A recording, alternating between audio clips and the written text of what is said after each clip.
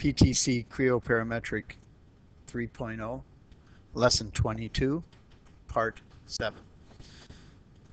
The last lecture for this lesson is going to cover doing an assembly drawing. And in the PDF, a variety of views are given for the first page, and they also show an exploded view for the second page of the drawing. You want to follow this pretty closely. There are a few things I might suggest adding or changing. I brought up the drawing here.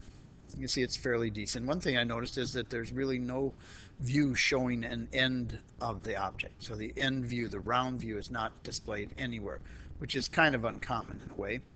This is on an E-size sheet, so it's fairly big. Maybe if we change it to uh, 0.75, we'll have a little bit more room. And I'll click on the front down here.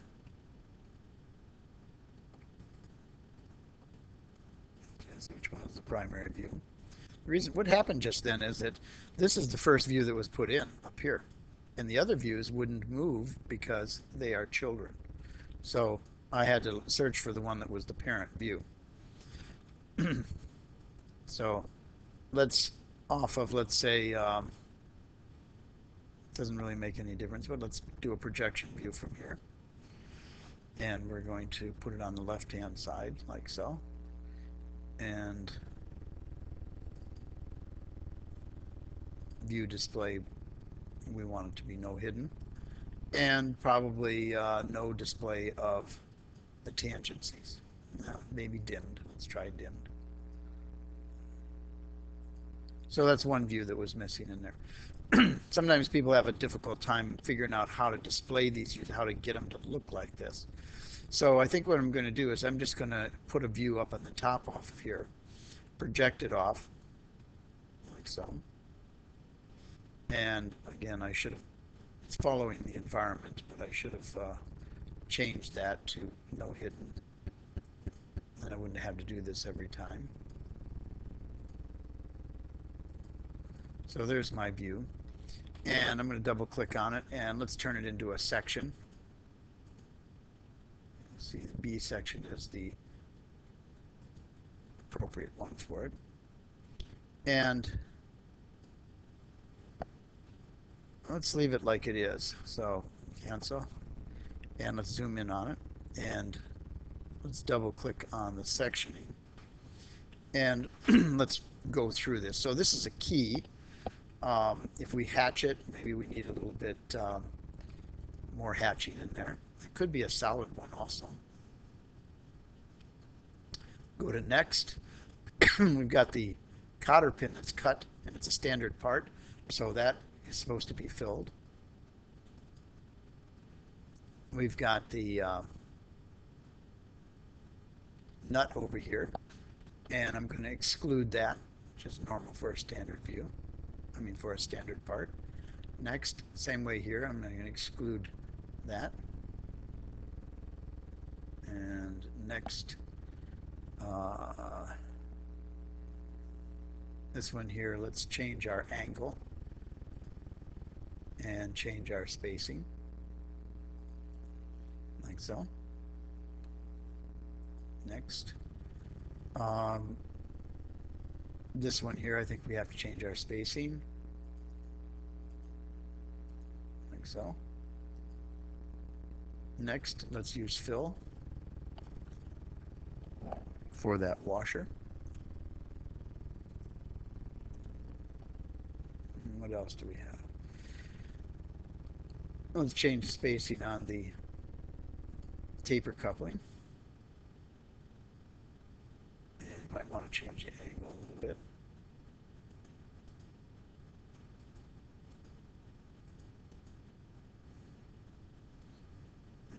And next, let's exclude the round part, the shaft. Not uncommon to do that. Done. And you have now standard parts excluded from it. You can see no section. The fills are for the small standard part um, that are cut at a cross section of 90 degrees to a round feature. That's common to do that. And when you have a very small item like the cross section on a washer. That's another place we can change it. So that's how we get that particular view. That's what I wanted to show you. Looks like we did it a little bit different on this one, but that's okay. Now, one on the bottom here. Let's undo that one. Can't undo enough, I guess. I'll just delete that view. Now let's uh, let's project another view, and this one off that middle view here. But let's go down here. So this is going to basically be the same as this section one right here. And let's double click on it and go to sections, 2D section plus. And we have section A going through here. Apply. So you can see we still have to go in here and change the display style, but it won't show a, a colored section anyway. So let's go to dimmed, apply, or let's go to none apply. And click on sections.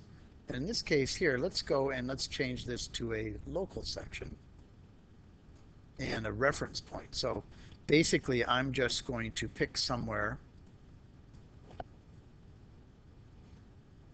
for instance right here and now I'm going to uh, oh I went the wrong way sorry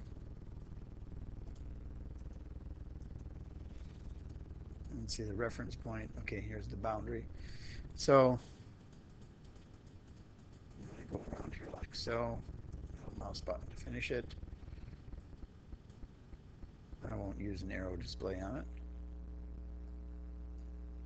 apply. And here we have our view. That's how we got that view. And again, just like before, if you wanted to change the sectioning in any way, you just go in and do that individually. Let's change the angle here. And next, let's exclude that done. And we can have something a little bit different than even there. So just a portion of this is being sectioned. Now the other thing here, we did put in a second sheet and that one has the exploded view. So you want to do your exploded view in the assembly obviously and then you're going to display it here. And we created the exploded view when we were doing the uh, the assembly itself. So again, there's a variety of choices you've got. You can uh, put in some uh, detail views, uh, something to show this internal portion a little bit better. Detail view, pick let's say here, and let's say this is the only portion that you wanted to show. I'll put it up over here. So you can see the internal portion a little bit better by having it scaled up.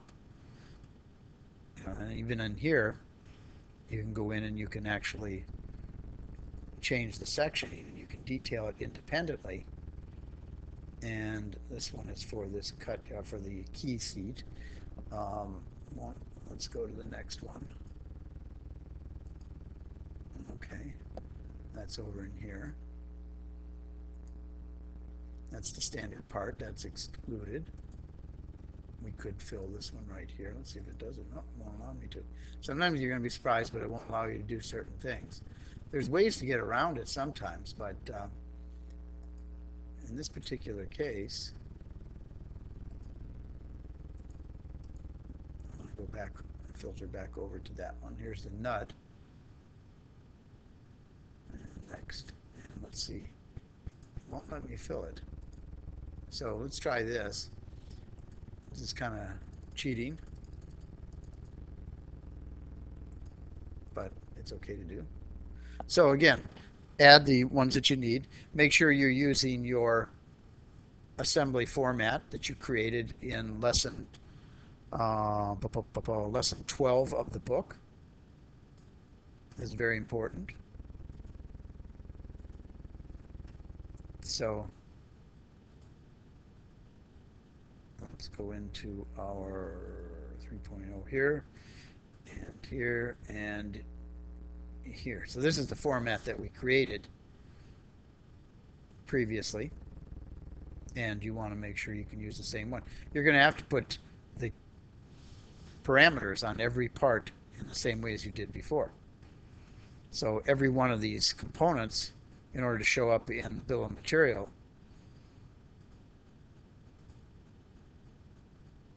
going to have have to have the appropriate items in here.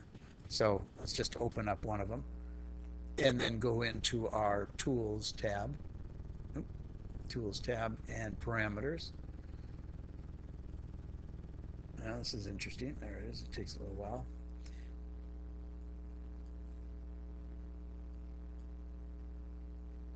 And you can see this information has been input in there the parameters. And we actually used a PRTMO this we actually used MAT in this one. You're going to have your material for each part and so you're going to use your methodology that we use to create um, the assembly format in lesson 12 so this is the old style. We didn't have an automated material readout then. We actually had to put the um, material in as a parameter so it wouldn't automatically read it. Again this is an old legacy part. Yours is not going to have to do that. You're going to put your you're going to use the same you're going to do it the same way as you did when you did all the parts for the swing clamp and you're going to have parameters in there you're going to have uh, the you should actually do your datum A, B, and C. You should have spe specific colors for each one of your components. You should have the material specification. Make sure your um, your uh, units are selected correctly. Make sure everything's done right, um, and then it will propagate into your bill of materials once you bring that format in that you've already saved. This completes lesson 22 lectures.